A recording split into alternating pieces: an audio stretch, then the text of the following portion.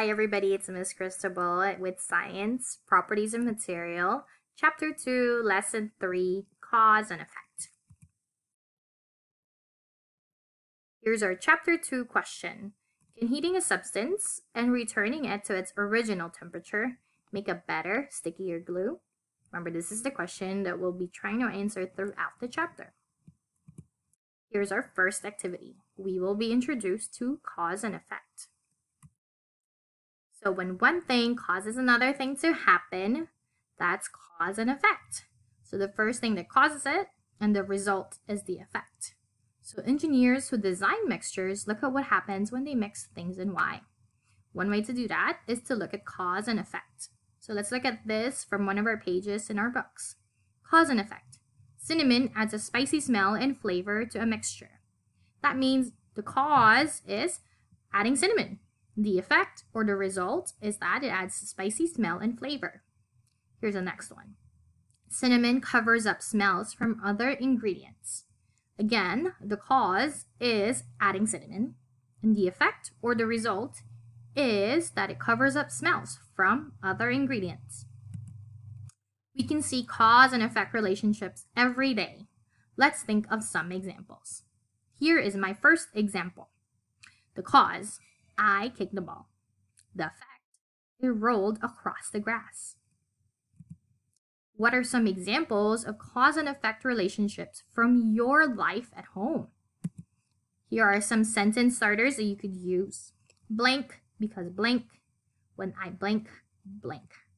So I'm going to give you some time to get some paper, to pause the video, think about examples of cause and effect from your life, and I will share my ideas next.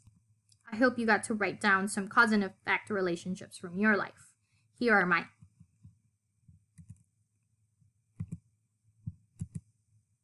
The grass is wet because it rained last night.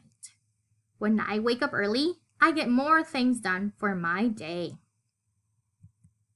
We'll write cause and effect statements for some ingredients in our table. We'll have two different causes. Here you go. When we added salt to our mixture, do you remember the result or the effect of that? The mixture is grainy, not sticky. The evidence? Only eight of the beans stuck during our sticky test. Here's another example. When we added cornstarch and it was heated, that was the cause. Here's the effect. It made the mixture stickier. What was our evidence? All 10 beans stuck. Now I'm wondering, why do you think it might be helpful for engineers to understand cause and effect relationships when they are designing something? Go ahead and pause the video, think about this question, jot down your idea, and I will share mine next. I hope you were able to jot down your idea. Here's mine. Cause and effect can help engineers know what ingredients can cause a mixture to be a certain way either the way we want it to be or not the way we want it to be. Next activity of our lesson is we're going to look at cause and effect in our reference book. We need to learn more about ingredients so that our next glue mixture can be even better at meeting the design goal. We'll add corn syrup and gelatin to our list of ingredients. We observed heated cornstarch and water in the last lesson, but we haven't yet observed gelatin or corn syrup can find evidence about stickiness in the reference book's cause and effect sections. Engineers use reference books to learn about substances. So we're going to look at this book, Handbook of Interesting Ingredients. I'll turn to page 34 in the Handbook of Interesting Ingredients. Let's look for evidence about flour. So this is the index of our book. And do you see what pages flour can be found in? That's right, pages 18 and 19. So here we turn to page 19 and it has the cause and effect section. I'm going to read it out loud. Cause and effect. Flour makes a mixture sticky. Flour makes a mixture thick. Flour makes a mixture hard when dry. So let's think about this question next. Of the three cause and effect statements, which one gives us evidence about the flour's stickiness? I think it's the first one. Flour makes a mixture sticky. Now we're going to turn to this page in our packet. You'll track your evidence here just like engineers do. I'll write an example and review the directions. So this worksheet says, gathering evidence from the Handbook of Interesting Ingredients. Here are the directions. Number one, look through the book and find evidence of the stickiness of each ingredient in the table. Number two, record the evidence in the table. Number three, choose another ingredient from the book. And lastly, add it to the table and record evidence about its stickiness. Here are the ingredients. Cornstarch, gelatin, corn syrup, flour, and the last one is blank for you so that you could choose one that you want to read about. I wrote about flour, and here's my evidence about its stickiness. Flour makes a mixture sticky. I'm going to give you some time to pause the video and complete this page in your packet. Some time to complete this page in your packet and wrote about evidence about stickiness. Are you ready to move on? Next, we will discuss our evidence.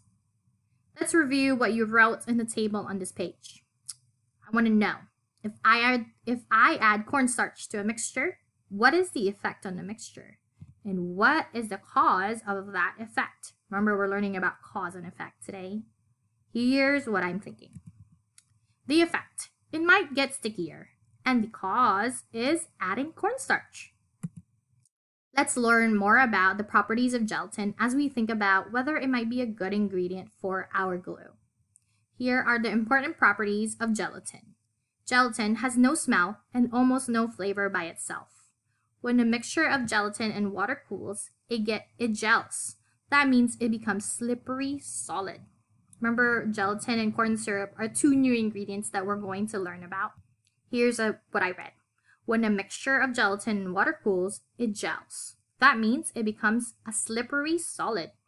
So if I'm not sure what solid means, I can always look it up in the glossary. So here is a page of the glossary. A glossary tells us what the important words are in the book and its definition. I'll find the word solid in the glossary and read its definition. The definition tells me what the word means. So here's solid. Something that holds its shape and doesn't make puddles like rock or wood. Scientists and engineers are interested in cause and effect because it helps explain what happens in the natural world. When we create glue recipes, we also need to consider cause and effect because we want to know what to do to get certain results or cause certain effects. In this next activity of our lesson, we will review the key concepts of our chapter. Remember, we're going back to this chapter 2 question. Can heating a substance and returning it to its original temperature make a better glue? Let's go back to our design cycle. When we tested our first glues, some of us needed to make some changes to meet the design goal of being sticky. Now we're back to the learn phase. Some substances have different properties after heating or cooling. Here are my wonderings so far. What glue ingredient did we observe that had been mixed with water and heated? What were the properties of the cornstarch and water mixture before heating and after heating? So now you're going to get some time to pause the video and think about these questions, jot down your ideas, and I will share my ideas next. We're able to jot down some of your ideas, and here are mine and what I wrote down. We observed cornstarch. And before heating, here were the properties. It was runny, white, smooth, and thick.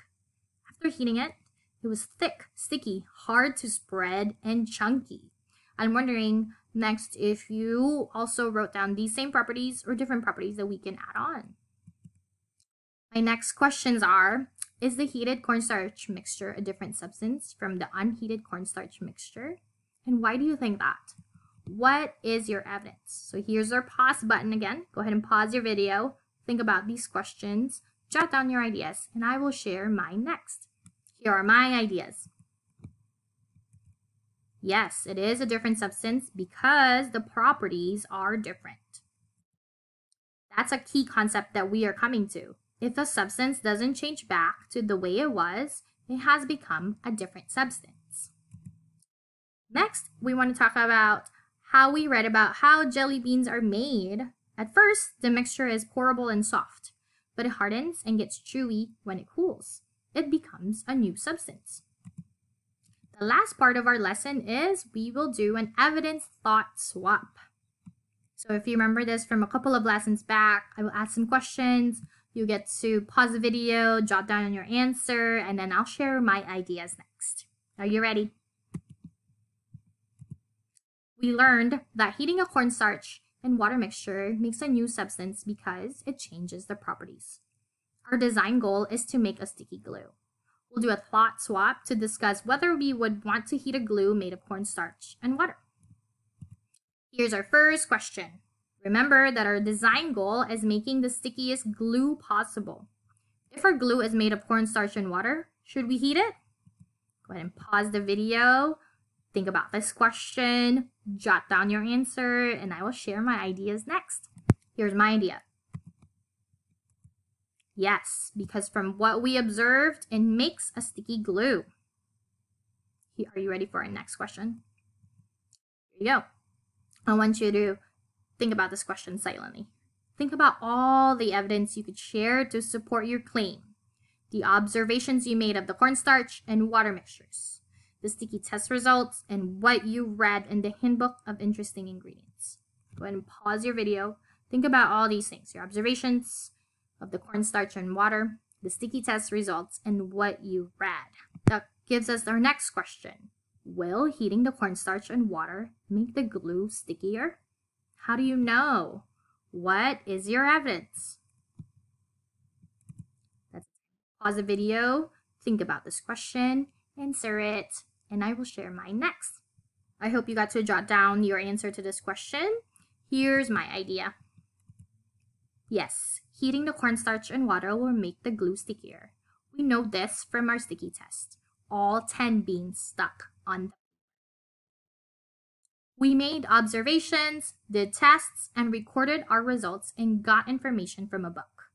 When scientists and engineers get information from different places, they're gathering evidence from different sources.